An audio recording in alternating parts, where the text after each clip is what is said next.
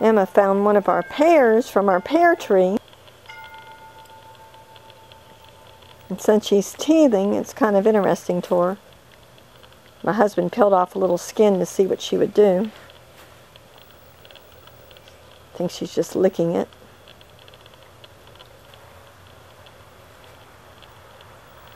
Emma! Emma! There you go do you have?